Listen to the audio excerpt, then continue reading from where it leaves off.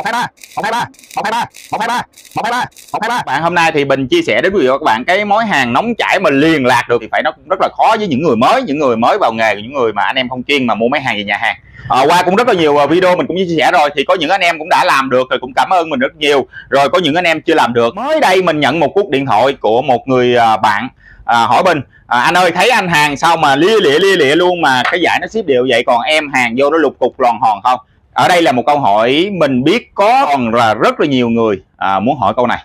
Và hôm nay mình sẽ chia sẻ cái điều đó ngay trên cái video này. Và bảo đảm sau cái video này các bạn sẽ hàng được một mối hàng liên lạc như một người thợ. Còn nhiều mối thì tôi không biết bạn muốn tạo ra một cái mối hàng liền lạc thì trước tiên bạn phải biết cái nguyên lý. Hôm nay mình sẽ thực hành cho bạn xem và chia sẻ cái nguyên lý đó một cách vắn tắt nhất để, để bạn tự hàng cho mình một mối hàng liền lạc. Thì mình muốn có một cái mối hàng liền lạc ở đây thì ít nhất là mình phải tạo ra một dũng hàng thì chúng ta đốt cái hàng này lên. Thì cái lỗi hàng này nó sẽ cháy. Mà nó cháy nó sẽ nung chảy. Nó chảy cái lỗi hàng này ra luôn nè. Nó chảy cái lỗi hàng trên cái dũng hàng này rồi nó chảy luôn cái vật liệu hàng phía dưới thậm chí mình đưa cái que mồi vô nó chảy luôn cái cái que mồi. Ở trên dũng hàng này nè nó sẽ chảy ba vật liệu ra. Một là cái lỗi que hàng của mình hai là cái vật liệu hàng ba là cây mồi của hàng. Ba cái vật liệu này nó hòa lại với nhau nó tạo thành một dũng hàng.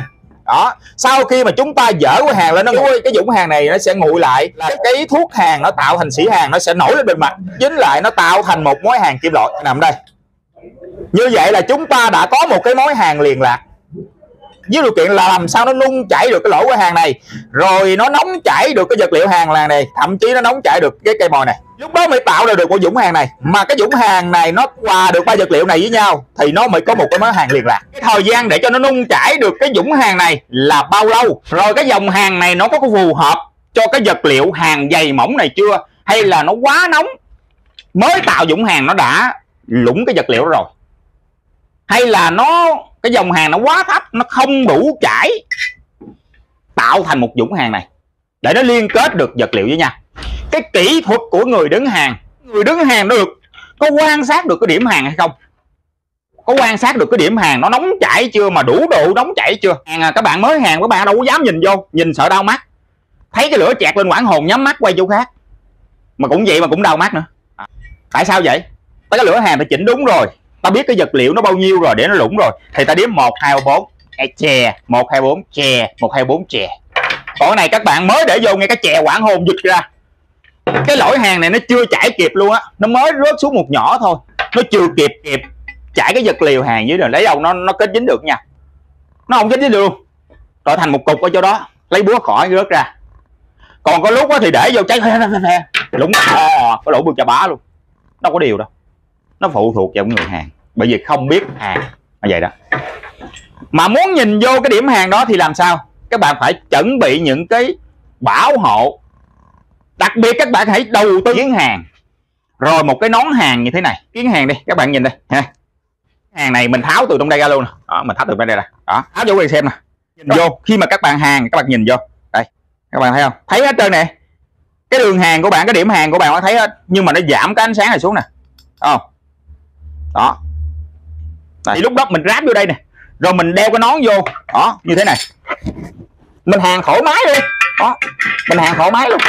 Mình đâu có sợ là đau mắt nữa. Mình nhìn vô cái điểm hàng mình. Mình thấy cái điểm hàng mình nó nóng chảy lên rồi. Nó nóng chảy đủ độ nóng chảy để nó kết dính được với nhau rồi. Thì lúc đó mình ngưng. Nếu mà chúng mình không quen thì mình cứ làm vậy. Thì nó có một cái món hàng liền lạc. Hàng là bản thân mình cũng vậy thôi. Khi mình hàng mình nhìn vô đây nè nhìn vô hạt cái đường nó mới ngay được chứ. Rồi mình mới biết à cái mối hàng nó nó đủ độ chưa, đủ độ nóng chảy cho mình mới chỉnh được cái dòng hàng của mình lên xuống nữa chứ. Chứ tự nhiên cái bây giờ mình chỉnh đại nó, ôi, trăm mười đi à trăm mười đi. Rồi mình để vô không biết, nhìn qua, nhắm mắt là không biết nó đủ chưa ta, không hiểu mà chú ra, ủa, sao lục cục lò hòn không vậy trời? Sao nó không chảy được vậy? Cái chỉnh lên, trăm rưỡi, xong nó chảy te tua, nó chảy lũng ào ào luôn. Bực quá, dục cái kìm hàng đi chỗ khác luôn. Không kêu dính là mà không không kêu mà mối hàng nó không lục cục lò hòn cái máy hàng mình mua cái dòng nó nhỏ thì ờ, mình ờ, sử dụng hai que hai năm thôi bình thường thôi mình xài chi nó quá bự rồi nó cháy không nổi nha. Cái thứ nhất thứ hai là cái lửa hàng á mỗi cái máy hàng thì nó cái nút chỉnh nó cũng khác nhau rồi sao biết nói thì sao à, lửa hàng nhiều vừa. Cho nên là mình hàng và mình biết để mình chỉnh. Thí dụ như bây giờ bình hàng đây nè đó mình để vô lửa thử lửa cháy bao nhiêu nè. Đó mình tạo một dũng hàng để cho quý vị xem nè. Mình à, sẽ nung chảy nung chảy. nung chảy cái lỗ hàng này. Rồi nung chảy được cái vật liệu hàng này dưới rồi mình nung chảy luôn. Cái thằng quay hàng này cái thằng bao bùa luôn nè. Rồi ba cái loại này nó kết hợp lại với nhau thành một dũng hàng. Và một cái dũng hàng liền lạc cho quý vị xem nè. Và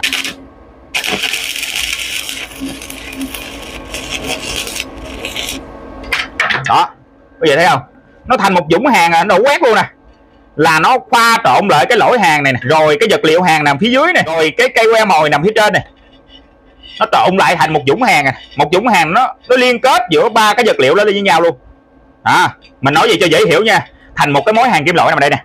Đó. Rồi sau khi đó nguội thì cái sĩ hàng nó sẽ nổi lên mặt ở trên.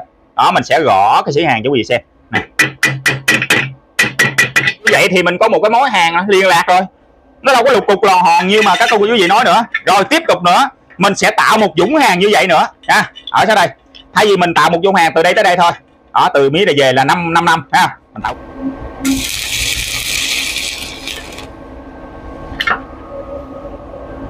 ha à, đây.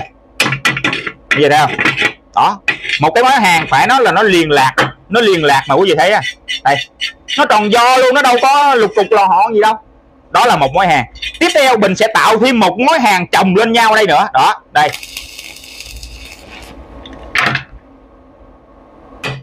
Vậy thấy không? Cũng tiếp tục liền hạt. Và chúng ta từ từ từ từ, từ đi đến đây. Thì nó chúng ta có một cái đường hàng giải cá luôn quý vị. Rồi mình sẽ hàng theo cái cách mà các bạn hàng á. Tại sao mình lục cục lò hòn nha? Đó, là các bạn hàng cái lửa hàng quá nhỏ chưa đủ chảy hoặc là chưa hàng chưa chảy thì dở lên rồi. Rồi chưa có khỏ cái xỉ hàng ra mà tiếp tục hàng ha? Rồi hàng không tầng không lớp có nghĩa là muốn hàng chỗ nào hàng có dũng hàng đây nè. Đó, các bạn không tạo được một dũng hàng mà các bạn muốn cái, mối hàng chỗ nào hàng hàng mà không rõ sĩ hàng ra. Đó. Cuối cùng nó tạo thành một cái mối hàng như vậy. Đâu gì thấy không? Đây. Đây nè. Đó, mình ghi lên cho quý vị dễ thấy luôn nè. Đó. Đây. Là cái mối hàng không tầng không lớp rồi cũng không khỏi sĩ hàng rồi điện thì không đủ. Đó. Một. Cái chút. Ba. Cái chút. Hai. Cái chút. Một. Tưởng là mối hàng này hàng nhiều vô tốt cái chồng chồng lên nhiều hoài. Thành ra một cái mối hàng nó như vậy nè lúc mà rõ ra. Đó. đây. À, vậy quý vị ha. Nó lục cục lòn hòn mà nó không lối không thứ tự lớp lan gì hết. Đó, nó không đủ độ chảy nó cũng không đều đặn gì hết. Thì đó là do cái người hàng do cái người chỉnh lửa hàng. Đó chưa biết hàng chưa biết tạo mà được một dũng hàng thì làm sao hàng với được? Mình hàng một cái đường hàng này cho quý vị xem nè. Bây giờ điểm nè. Một hai ba. Một hai ba.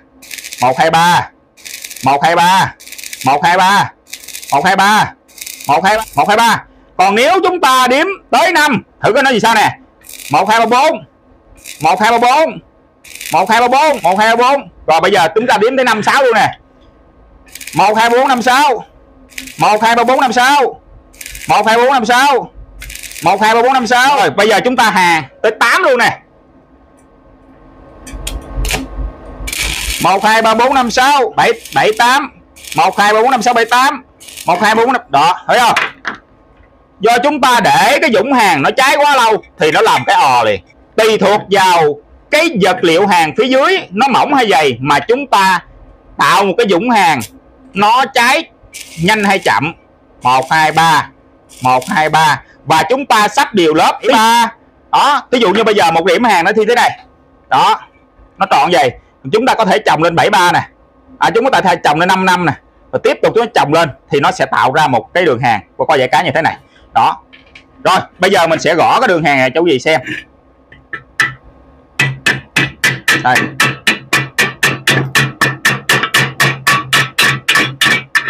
Ở đây một hai ba nè. Ở đây ờ, bốn năm nè gì nè. Ở đây nó dài hơn nữa. Có nghĩa là cái đường nó mình để cái độ nung chảy nó cao hơn nữa không? Rồi tới đây tới 8 là nó lủng luôn. Đây. 308 nè, nó chảy quá nó lủng luôn. Đó. qua video này thì các bạn biết tại sao mình hàng nó được cục lò hòn như thế này rồi. Đó. Và các bạn đã tạo được một dũng hàng như thế này chưa? Khi mà tạo một dũng hàng như thế này được rồi thì các bạn sắp được cái giải cá như thế này. Thì như vậy á, mà các bạn làm sao hàng cho nó thẳng nha. Chứ đừng hàng công công như bình thì nó cũng xấu như bình thôi.